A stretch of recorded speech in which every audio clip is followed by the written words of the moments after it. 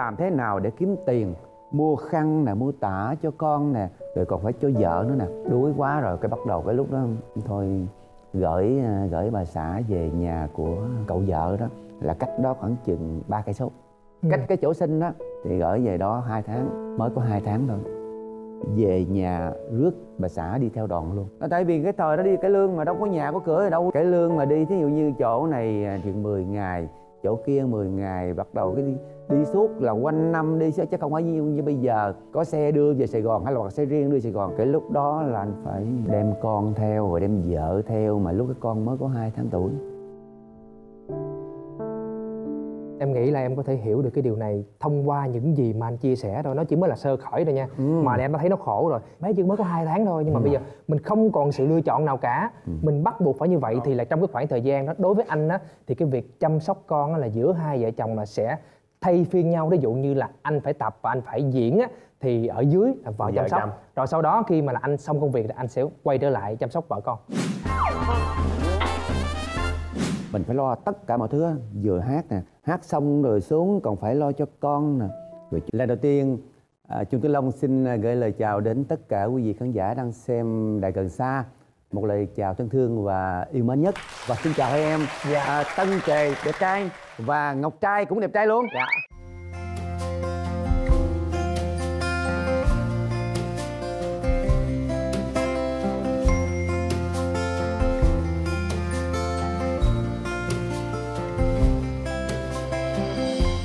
em tên trai nó có lý do đó anh bởi vì là dính vô đâu nó cũng được đẹp trai nhưng mà đừng xấu trai nha buồn lắm anh phải chia sẻ chút xíu cho hai anh em biết là anh với chị đến với nhau từ khi nào Thật lòng mà nói thì anh với à, bà xã của anh đến với nhau cách đây khoảng à, trên 30 năm. Dạ. Wow. Bà xã của anh thì à, con của một nghệ sĩ cái lương. Khi mà anh nói ra thì chắc là hai em và tất cả khán giả trong và ngoài nước đều biết đó là nam danh ca Minh Cảnh. Dạ. wow. Sự tình cờ như là mình đi hát chung một cái đoàn đó rồi bắt đầu mới có cái sự tình cảm với nhau. Cái lúc đó anh chưa biết gì hết sao tự nhiên cái anh mỗi lần mà anh đi hát về cái anh nằm ói nó khó chịu mà luôn cả một tháng trời anh không biết chuyện gì. Ủa dạ sao? khoan là anh nói hả? Anh nói mà. À rồi em hiểu luôn. À à à ngán giùm. Ngán giùm ngán giùm. Anh thấy cá anh cũng tanh mà thấy thịt cũng tanh. Mấy mấy chị ở ở cùng đoàn anh ấy. Đó là anh ngán giùm bà xã đó. Là anh ngán giùm bà xã đó. Thì cái nó, nó, nó bất ngờ ra là mình bà xã mình đã có bầu. Hỏi bà xã nói bà xã có bầu là gần 3 tháng rồi. Ừ. thì nói thật với hai em lúc đó khổ quá. Cuộc đời cái nghệ sĩ cái lương hồi đó là không phải là một mình anh mà tất cả anh em nghệ sĩ đều khổ lắm, đi hát mà không có đồng tiền, đủ đồng tiền để trang trải cuộc sống hàng ngày nữa. Quyết định hai chồng đi phát mà em biết không, cái đứa con anh, cái mạng rất là lớn. Giờ lần thứ ba anh tới ờ, bà, cái gọi là bà mụ mụ mụ giường đó. Nó nói, thôi, cô chú ơi, cái đó là cái duyên số rồi, cái định mệnh như thế đó rồi, thôi, để luôn đi. Cái anh mới suy nghĩ như thế này. Đã là tạo quá, đã tạo cho nó là đầu thai lên thành một đứa con của mình rồi thôi để luôn. Vậy thì là cái quá trình sinh bé ra thì là được đặt trong một hoàn cảnh như thế nào ạ? Hát xong cái bà xã nói anh ơi em đau bụng. Đau, đau bụng mà chuyển dạ đó. Thì tức tốc ờ, ở trong mấy chị em ở trong đoàn đó mới đưa, đưa đi đi sanh mà sanh đã biết. Hồi xưa đâu có phải là vô nhà thương lớn lao gọi là mụ giường á một nấu nồi nước đó nấu nồi nước rồi sau đó là Rồi. lấy à, hai ba cái khăn để trải đây vậy đó. Rồi ngồi xuống. Chuẩn bị hai ba rặn mọi chuyện thì à, rất là êm xuôi không có chuyện gì trắc trở hết. Cái à, lúc đó rồi mình mới là lo nữa. Mình lo mình phải làm thế nào để kiếm tiền mua khăn nè mua tả cho con nè rồi còn phải cho vợ nữa nè. Đuối quá rồi cái bắt đầu cái lúc đó thôi gửi gửi bà xã về nhà của cậu vợ đó. Là cách đó khoảng chừng ba cây số. Cách cái chỗ sinh đó thì gửi về đó hai tháng mới có hai tháng thôi. Về nhà rước bà xã đi theo đoàn luôn. Nó tại vì cái thời đó đi cái lương mà đâu có nhà có cửa đâu. Cái lương mà đi thí dụ như chỗ này à, thì chừng 10 ngày chỗ kia 10 ngày bắt đầu cái đi đi suốt là quanh năm đi chứ không phải như, như bây giờ. Có xe đưa về Sài Gòn hay là xe riêng đưa Sài Gòn. Cái lúc đó là anh phải đem con theo rồi đem vợ theo mà lúc cái con mới có hai tháng tuổi em nghĩ là em có thể hiểu được cái điều này thông qua những gì mà anh chia sẻ thôi. Nó chỉ mới là sơ khởi thôi nha. Ừ. mà em đã thấy nó khổ rồi. Bé chưa mới có hai tháng thôi nhưng mà bây giờ mình không còn sự lựa chọn nào cả. Ừ. mình bắt buộc phải như vậy thì là trong cái khoảng thời gian đó đối với anh á thì cái việc chăm sóc con á là giữa hai vợ chồng là sẽ thay phiên nhau. Ví dụ như là anh phải tập và anh phải diễn á thì ở dưới là vợ chăm sóc. chăm. rồi sau đó khi mà là anh xong công việc thì anh sẽ quay trở lại chăm sóc vợ con. Mình phải lo tất cả mọi thứ á. vừa hát nè hát xong rồi xuống còn phải lo cho con nè, rồi cho vợ nè. Đâu có người mà đi theo phục vụ đâu mà phải mình tự. Mà vợ bà xã mình lúc đó mới có, tháng mấy, hai tháng đâu có làm gì được đâu. Mình phải nấu ờ, nấu một miếng cháo nè bởi vì ờ, hồi xưa nó đâu có sữa thí dụ sữa thế này thế kia để mà bồi dưỡng rồi cho cho con bé bé bé đâu. Uống nước gạo à? Ừ uống nước nước cơm mà loại mình nấu cơm mà rồi chắc nước ra đó. Dạ. rồi còn cơm nước thì nói chung là đi theo thì có đoàn lo rồi. Anh nói thật lòng với hai em chưa có đứa nít nào mà như à, như thằng con anh. Anh dám nói luôn con nít nào sáu bảy tháng sáu bảy tháng tuổi đó mà không khóc. Không biết lý do gì cứ tối vô là cứ uống sữa xong là ngủ thôi chứ không khóc Ừm. chứ con của người ta là cứ khóc nhẹ nhẹ nhẹ nhẹ ha còn này không có. Nghệ sĩ thanh tuấn đó. Dạ dạ. Thì ảnh nằm kế bên ngủ kế bên giường. Ông nói thằng này đúng là nó nó rất là thương cha thương mẹ nó. Nó thương ba mẹ nó nó biết ba mẹ đang trong hoàn cảnh khó khăn cho nên nó thương ba mẹ nó bằng cách là không khóc để làm chi? Để cho ba mẹ được ở chôn cùng với mình được nghỉ ngơi phải không? Thí dụ như nguyên cái hội trường vậy nè cái mỗi người căn liều liều liều ở chung với nhau á chừng à, bốn năm chục người vậy đó nếu mà khóc la rồi đâu có ngủ được đâu. Cái đêm cuối của đoàn á hồi đó là đâu đâu có có cái cái cái cái, gì mà để cho bé đâu cái cái cái, cái nôi Cái nôi đâu. không có nha. không có. Mình phải ẩm con mình vậy nè. Ẩm lên trên xe đó. Tất cả anh em chị em ngồi cúm cúm cúm nhau rồi chở qua cái điểm điểm khác diễn đó là khoảng ba chục cây số. Ừm. rồi khi mà dọn xong là khoảng 1 giờ thì mình dọn qua tới điểm mới là khoảng 6 giờ sáng. 6 giờ sáng em biết xuống đó rồi là phải nhờ vô cái nhà của bà con đó ở tạm ở đó mới xin người ta ở chứ đâu hồi đó đâu có khách sạn đâu. Mười mười ngày này bắt đầu mình mới đi qua điểm mới mình vẫn tiếp tục cuộc hành trình y như vậy. Theo những gì anh kể là bé trong cái quá trình mà đi theo đoàn là cũng đã được dịp ở bên cạnh ông bà ngoại rồi. Đấy. vậy thì là còn ông bà nội á ví dụ nếu mà mỗi lần mà nhớ cháu quá thì sao là đi theo đoàn thăm luôn hay sao? Thì bà nội với quê sóc trăng đó ông bà nội đi theo đoàn cực quá thì thôi bây giờ con đem cháu về để cho ba mẹ nuôi. Nít mà có biết cái gì đâu cứ nhìn ngơ ngơ ba mẹ sao tự nhiên ba mẹ bỏ con ra đi. Nói thật với em xé lòng nước mắt chảy đứt ruột đứt gan chứ đứt từng đoạn ruột luôn. Nhưng mà vì cuộc sống mình bắt buộc mình Phải phải không? bỏ con bắt buộc mình Phải phải không? bỏ con mà lúc đó mới có 8 tháng tuổi em đã em đã từng có con. Em biết 8 tháng tuổi thì vẫn còn bú sữa mà. Dạ đúng rồi. Anh đây 8 tháng tuổi anh dứt sữa. Về cái ông nội đó ông mới mua sữa mà là sữa bò. Bưng uống luôn chứ không có. Hồi xưa là phải đút vô cái chai có núm vú luôn này kia mất sáng cái đó cái bưng ly. Trưa bưng ly chiều bưng ly. Vậy là xong. Bé nó hiểu luôn á. Như cái thế này nè một cái điều này là mình mới mới mới mới xót xa nè. Lúc mà anh bỏ về cho cho bà nội nuôi là khoảng à, 8 tháng phải không? 8 9 tháng sau anh trở về dâm dơm vậy đó. Như là lơ chẳng có biết mình là ai. Không nhận ra mình. Không nhận ra luôn. Ba ba cũng là tuổi mấy rồi hả? Ở tuổi mấy rồi. Tuổi mấy rồi. Mình thấy lúc đó mình tuổi. Thương con mà tuổi tuổi cho cái phần của mình tuổi cho cái phần của mình. Em nghĩ em em có thể hiểu được. Con của của của của anh cũng đã lớn rồi chắc cũng bà phải bằng em hoặc là nhỏ hơn em tí xíu thôi. Khi mà ba mẹ em sanh em ra ừ. thì em không biết vì một cái lý do gì thì ba mẹ em để cho ông bà nuôi và tới năm em 6 tới 7 tuổi thì đó mới là lúc mà là em mới nhận ra à ba mẹ của mình. Cái quá trình mà ông nội bà nội nuôi đó, cũng cũng gian nan nữa. Là tại vì em biết cái dưới quê cái thời buổi đó không có điện, chỉ đốt là đốt đèn dầu thôi sáng là hai ông bà khoảng chừng 7 giờ cái đi ra ngoài đồng rồi đâu có bỏ nhà được ở dưới quê mà ao mương rồi một, một mình bò. Thành ra ông bà nội mới ẩm đi ra theo ngoài cái cái bờ bờ chuối ở ngoài ngoài để để đi làm cỏ đó mới để trong cái thúng trong thúng đó là để cơm nguội chứ Ừm. như là đâu có trái cây gì đâu cái chơi với tre cái liều cho anh ngồi đó.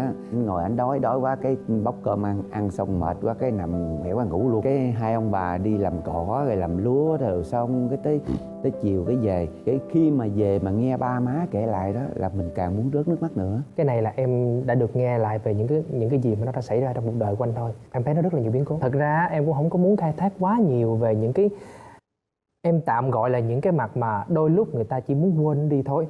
Tại vì nó nó khổ quá nhưng mà là đó lại là những cái mà nó hình thành nên con người của mình hình thành nên nhân cách của mình ở thời điểm hiện tại bây giờ. Anh đã từng trải qua biến cố hôn nhân đúng không? Đúng rồi. Dạ. Tại sao vậy ạ? Em biết cuộc đời mà. Ai cũng có một cái hoàn cảnh riêng một cái cuộc sống riêng. Tới một cái thời điểm nào cái giai đoạn nào đó thì là bất đồng với nhau đứa con lúc đó dịp từ đồng lên khoảng 10 10 15 tuổi. Thì anh mới nói thôi, bây giờ con cũng lớn rồi, thôi hai đứa mình sống. Một chuyện là không có phù hợp với nhau nữa thì chắc có lẽ là mình trả lại sự tự do cho nhau. Thì hai đứa mới đồng ý. Cách đây khoảng 10 17 à, năm thì anh có bước thêm một bước nữa, đó là sau này anh mới gặp được à, nghệ sĩ Hồng Hạnh anh với Hồng Hạnh mới ờ, đi hát tình cờ đi hát chung với nhau mới gặp. Tánh tình cũng ờ, dễ thương nhưng mà ca cũng rất là hay. Cái mình mới cái đổ. gặp anh ca rất hay hôm nào có gì hay anh với em mà làm một ờ xong ca rồi kia. Cái đó là giống như kiếm cớ vậy từ từ rồi mới ờ, kết hợp với nhau rồi bắt đầu thấy à, cái gì nó cũng uh, thuận thảo với nhau, suôn sẻ nhau rồi thôi. Hai đứa mới tiến tới. Thì nó nói thật với anh với hồng hạnh tới hiện bây giờ là sống chung với nhau trên 15 năm nhưng mà chưa có một đứa đứa con nào hết. Nhưng mà là hai anh chị là đã có tính tới cái vấn đề đó chưa? Anh rất là ham con nhưng mà tại vì cái lúc mà anh gặp hồng hạnh á, thì cái con đường nghệ thuật á, thì nó thay đổi là nó gọi là thay đổi 80 độ. Wow. Dị- là bình thường thôi nhưng mà khi mà anh đã kết hợp với hồng hạnh rồi ra một sản phẩm rồi thì cái cái cuộc đời nghệ thuật của anh nó nó sẽ lật lại. Bây giờ trong hai mình phải chọn một. Thứ nhất là mình chọn sự nghiệp công danh hay là mình chọn con? Sự nghiệp công danh hay là mình chọn con? Thôi, một trong hai thôi. Ừ. Em có thể hiểu được cái điều này mà với lại em lại um, khá là tôn trọng. Em em phải tạm gọi là tôn trọng chị hạnh luôn bởi vì khi mà chị quyết định như vậy á, thì là cũng đã nghĩ cho anh rất là nhiều. Đúng rồi. Có đó là một cái điều sơ xuất của anh và hạnh thì anh chỉ cầu à, mong cho tất cả các bạn các em phía sau trang lứa với anh. Thì thôi bây giờ à, thí dụ như lập gia đình rồi đó thì mình phải có một đứa con nè để cho cái cái một cái gia đình ấm cúng tí. Còn về sự nghiệp thì mình cũng không cần danh vọng quá mà chỉ cần là à, bà con đủ thương thôi. Đủ thương rồi đủ thương đủ quý đủ rồi thương được rồi. Bây giờ là sẽ có một món quà mà chương trình đã bí mật chuẩn bị cho Rồi. anh. Dạ. Món quà nó sẽ được hiển hiện ở trên cái tivi đó. Dạ Rồi. xin mời anh ấy xem ạ Xin chào chương trình. Hôm nay Mạnh rất vui và vinh dự được tham gia chương trình thì nói về à, Trung Tử Long và Diệp Tư Đồng. Hai cha con người ấy thì anh nghĩ là anh Long thương con khỏi nói rồi. Bây giờ mạnh kể một chút về à, chuyện vui trước. Mỗi lần mà anh Long ảnh đi à, đi mua đồ cho Diệp Tư Đồng hay gì đó thì hay than là Trời ơi, con nó lớn rồi mà mỗi chút thứ gì em coi đó, anh cũng phải mua cho con hết á. cái hạnh mới cười, anh nói, có gì đâu, con mình cưng cái chuyện đó bình thường.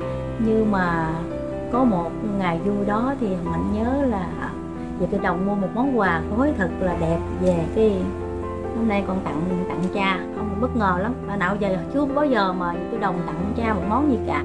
Mở ra xem thì thấy một cái cái cái sách tay, cái sách mà để mang á.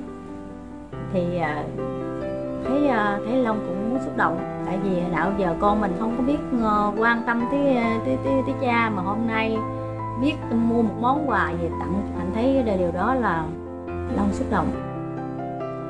Còn cái chuyện mà buồn lúc đồng 21 tuổi học đại học năm thứ hai rồi đó đang học giỏi vậy là quản trị kinh doanh. Bỗng nhiên cái mê chơi mê chơi cái bỏ học không học nữa mà năm thứ hai rồi. Cái đi khoảng 4 năm ngày về 4 năm ngày vậy cái anh Long mới tóc lên đi kiếm. Trời ơi đang đi học, ngon lành gì mà tự nhiên giờ nghỉ học.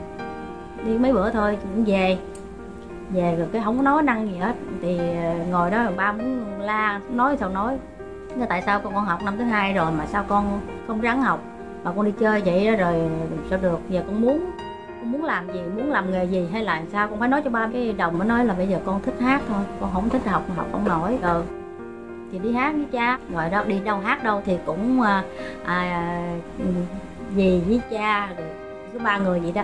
Mình là nữ lúc nào cũng được ưu tiên à, những nặng nhọc hay những cái chuyện gì á thì à, hai người dành làm. Và Diệp Tư Đồng rất là hiền chung là những kỷ niệm vui buồn nhiều lắm nhưng mà hạnh nhớ đi hát tỉnh thì hạnh mang đôi giày cao, mà một tức rưỡi thì không thể nào đi một mình rồi phải có người dịnh. Cho nên là chị cứ Đồng lúc nào phải đi sát bên, dịnh dịnh cho hạnh đi. Hạnh thì cảm thấy rất là vui, tại vì à, lẽ ra long long phải dịnh cho hạnh dịnh nắm tay hạnh đi, nhưng mà long không có làm được đó. Nhưng mà con trai thì làm, con trai thì dắt gì đi. Cho nên hạnh cảm thấy hạnh phúc lắm.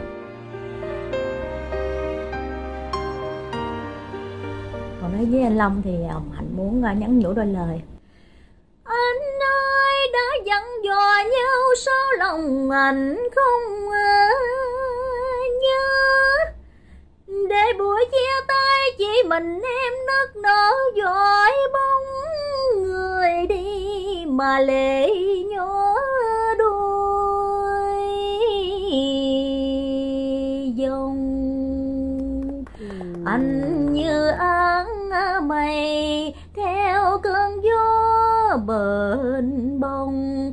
Gió trở về đâu sao không về qua lối nhỏ, để hai đứa mình hòa hẹn bên nhau. Ôi, khung trời nào đầy ấp trăng sao mà chốn ấy anh đi hát khiêu niềm tâm sự thầm trách anh mà vẫn thấy thương anh bởi giữa đời thường biết bao là cảm bay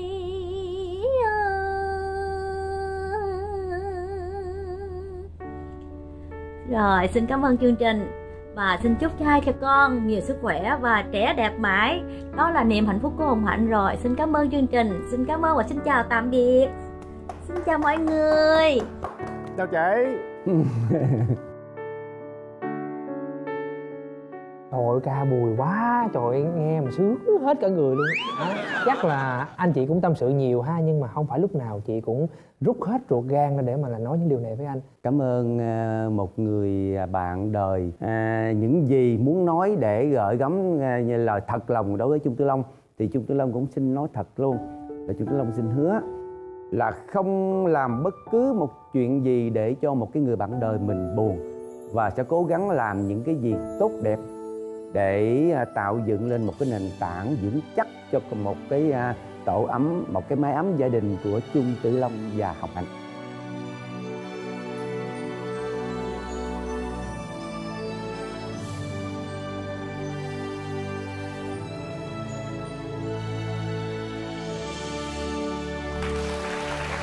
Em hứa luôn. Dạ em hứa cho gia đình em luôn. Có hứa không? Ờ, hứa. hứa luôn. đi ừ, ừ, hứa, hứa, hứa, hứa, cái này là hứa nha. Dạ.